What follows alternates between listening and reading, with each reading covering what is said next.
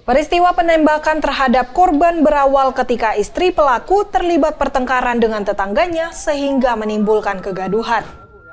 Korban yang anaknya tengah sakit berupaya melerai kegaduhan antara istri pelaku dengan tetangganya.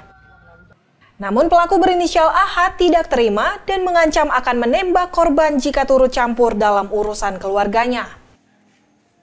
Setelah kegaduhan reda, pelaku kemudian mendatangi korban dan langsung menembak dada kiri korban hingga tembus ke paru-paru. Korban sendiri tewas saat perjalanan ke rumah sakit. Polisi yang menerima laporan langsung melakukan olah TKP menemukan dua proyektil yang berhasil ditemukan di lokasi kejadian dan di tubuh korban.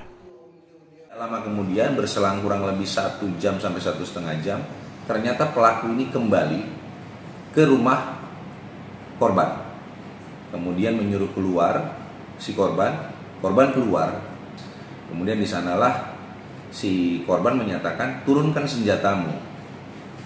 Namun secara tiba-tiba pelaku meletuskan senapan angin yang dibawanya ke dada sebelah kiri dan ternyata menembus bagian paru-paru dan menyebabkan korban tersungkur. Kini pelaku dan barang bukti sudah diamankan polisi dan tersangka akan dijerat pasal 340 Jungtol 338 KUHP dengan ancaman hukuman maksimal seumur hidup atau hukuman mati. Tim Liputan Kompas TV Langkat, Sumatera Utara.